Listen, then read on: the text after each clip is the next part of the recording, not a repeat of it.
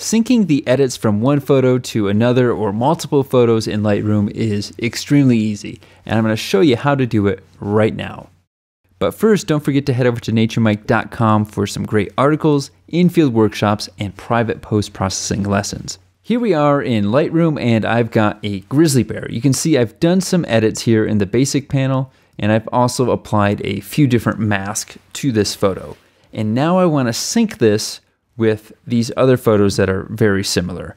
So I'm going to select this first photo. You can see it's selected because of the highlighted frame here. I'm just going to select a few photos. I'm going to shift click over here and you can see everything from this edited photo to the one I shift clicked on are selected.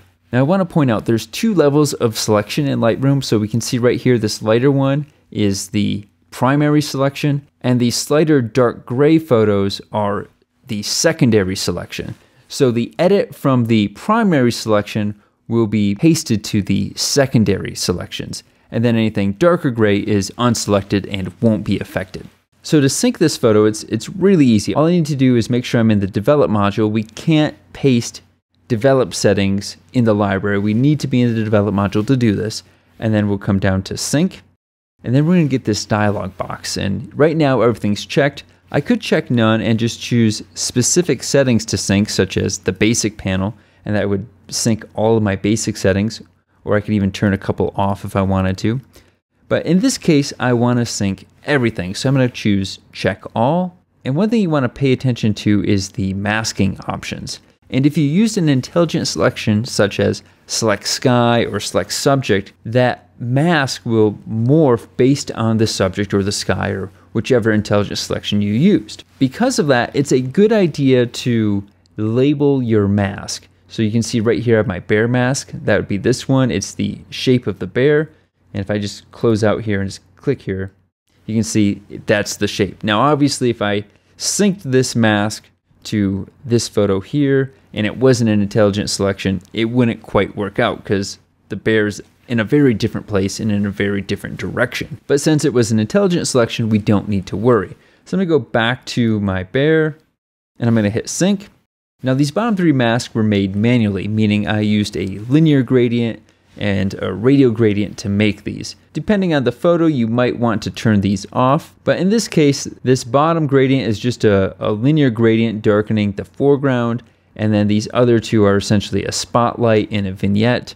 So we can leave all of these checked and I'm gonna hit synchronize. Since we used an intelligent selection, Lightroom has to analyze each photo and it will take a slight bit of time to adjust these. And you can see my thumbnails are now populated.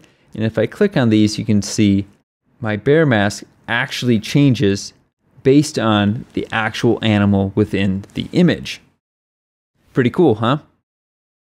So this is the way I recommend synchronizing one photo amongst many. You can also click on a photo and choose copy and you'll get the same dialog box as we saw in the sync menu. And I'm going to choose copy and then I can just select this photo over here and choose paste. So this is another way to synchronize photos. And lastly, there's one more way we can sync edits. So I'm just going to choose a photo here and I'm going to shift click. So I've got four photos selected and I'm going to hit the D key to get into the develop module. I'm just going to come down to the sync button and toggle the switch to the left. And now it says auto sync. So whatever I do to image A will happen across image B, C, and D. So I'm just going to do some basic adjustments here just so you can kind of see what's happening. I Bring that back down. Okay, just down and dirty, you can see all my sliders are moved, and I can just click on these other photos and the sliders will always be in the same position.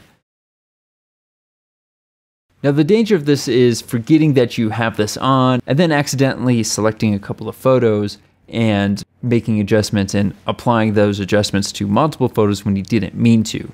And that's why I recommend turning this toggle switch off just doing your edits and then syncing them later. That way you can't accidentally overwrite edits that you didn't mean to. And that's it. I hope you enjoyed this video. Don't forget to like, subscribe, and turn on notifications. And as always, head over to naturemike.com for some great articles, in-field workshops, and private post-processing lessons. I'll see you in the next video.